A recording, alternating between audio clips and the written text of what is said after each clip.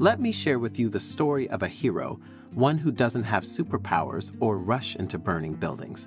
This hero, just like you and me, possesses the same resources, yet his impact is as significant as the heroes you see on the big screen.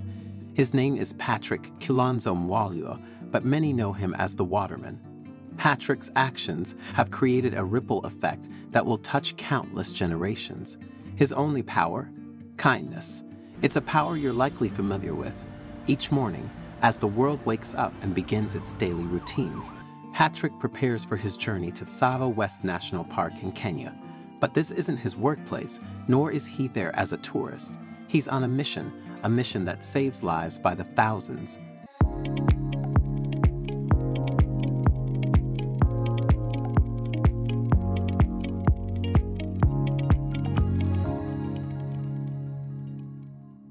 Patrick's story began in June 2016. He was a pea farmer in the Kenyan village of Voi, located near Tsavo West National Park. Living so close to the park sparked his deep passion for wildlife conservation. One day in June, Patrick decided to visit the park. What he found there was alarming. The waterhole, a vital source of water for the animals, had dried up. The animals were gathered around it, desperate and thirsty due to a relentless drought. The rains had failed to replenish the waterhole, leaving the animals in dire need, unable to find water elsewhere. Patrick knew that the animals might die due to the absence of water and was worried that nobody was going to do anything about it. Everyone else was busy finding water for themselves. When the drought intensified, Patrick decided to do something about it and bring water to the animals. Getting water during a drought is a tough task. People have to pay to have access to water. Patrick knew the sacrifice it required, but he didn't mind. He started by hiring a water bowser, which cost him 22,000 Kenyan shillings, about $183, and drove it from Voi to Tsavo, about 44 miles or 70 kilometers away. While Patrick was filling the waterhole, the animals watched from afar, unsure of what was happening. Immediately after he filled it up, the animals rushed to the waterhole. Although they couldn't speak, the look on their faces said more than enough and Patrick could see the gratitude in their eyes. Pleased with the reaction he got from the animals, Patrick continued going with the water bowser each day to fill the waterhole. He and the animals developed a non-verbal, seamless routine. They watched him from afar while he filled the hole, then hurriedly went to drink when he was done. As the days went by, it became obvious that a single trip with the water bowser was simply not enough, and he couldn't afford more than one trip. So he decided to share his story and his relationship with the animals on social media platforms, and guess what? The internet worked its magic. Patrick received so many positive responses, and soon he was making two to three trips a day. His passion for wildlife conservation attracted some American women, and they immediately set up a GoFundMe account. People knew that the cause was not only noble but necessary because wildlife conservation is important for creating balance in the world. After a few months, their $150,000 target was soon met, but the assistance didn't stop there. As the donations kept rolling in, Patrick did even more to ensure that the animals never lacked water. The most beautiful result of Patrick's kindness was the animals' reaction. At first, they watched him from afar and only moved closer to the water hole after he had filled it. But after getting familiar with the routine and after Patrick had earned their trust, they waited by the waterhole in anticipation once they realized the truck was close by. One day, something incredible happened. When Patrick went to the park to fill up the waterhole, he saw the animals standing really close to the waterhole waiting for him. As he turned on the faucet, some moved closer to drink directly from it because they couldn't wait for the waterhole to fill up. They weren't threatened by his presence, and they trusted him not to harm them, so they didn't harm him either. They knew he had been helping them all along. Isn't this amazing? The animals and Patrick didn't share any common language, but there's one language Patrick's wild friends understood clearly kindness, and they were grateful for his wonderful gesture. An interaction this beautiful between humans and animals is truly remarkable. Animals mostly get defensive as they feel threatened by human presence.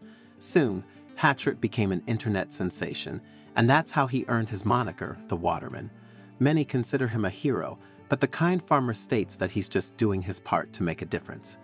When asked what motivated him, Patrick recalled the devastating effects of human negligence during a drought a few years ago when many animals perished because people didn't consider their needs.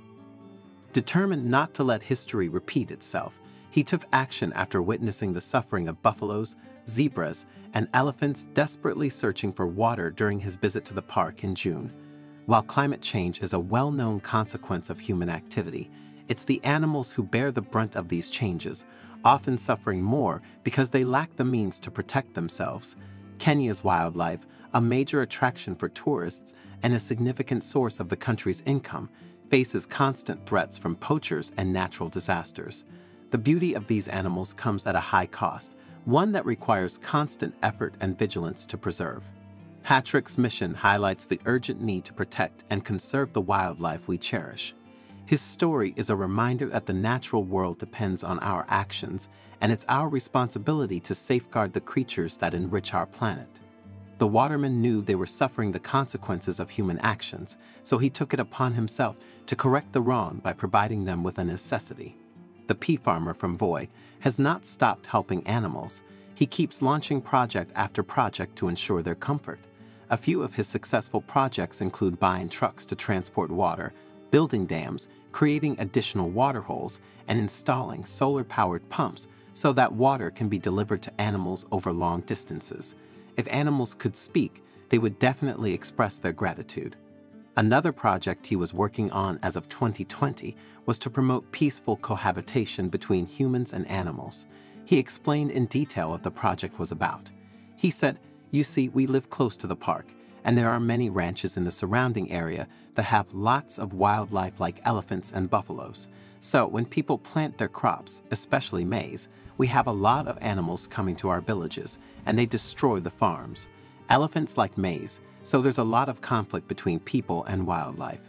He did some research and found that elephants didn't eat sunflowers, so he started planting them, and although elephants would come to his farm, they never ate any of the plants. Therefore, he came up with a solution to avoid conflicts between elephants and humans. I like sunflowers because when you harvest them, you can press the seeds to make oil, which can be sold or used for cooking. The residue from the pressing can even be given to chickens and livestock as feed. At the same time, sunflowers can help attract bees. I'm trying to create beehives in our community so that bees can help our vegetation. So the sunflowers help preserve the bees, and the bees help preserve the elephants by making them stay away from the farms, as elephants are afraid of the insects buzzing. So we're saving elephants and bees, and helping people as well, Patrick explained. Building on the success of the GoFundMe campaign initiated by supporters in America, Patrick chose to leverage his newfound online recognition for an even greater cause. He launched another fundraising effort, called the Mwalua Wildlife Trust, to further support his mission of helping the animals. This campaign attracted donations from around the world, including from India, where he received two machines capable of extracting water from the atmosphere. Thanks to these contributions, the animals in Tsavo West National Park no longer need to fear dying of thirst. Patrick has undeniably made a significant impact by doing something as simple as providing water to animals in need. May his story inspire you to extend kindness to the people and animals in your life as well. I'm really keen to know your thoughts on this story, so please don't hesitate to share your insights in the comments section below. If you enjoyed this video and found it engaging, I invite you to subscribe to our channel for more similar content. Feel free to share this video. Take good care of yourselves, and I'm excited to connect with you in our future videos.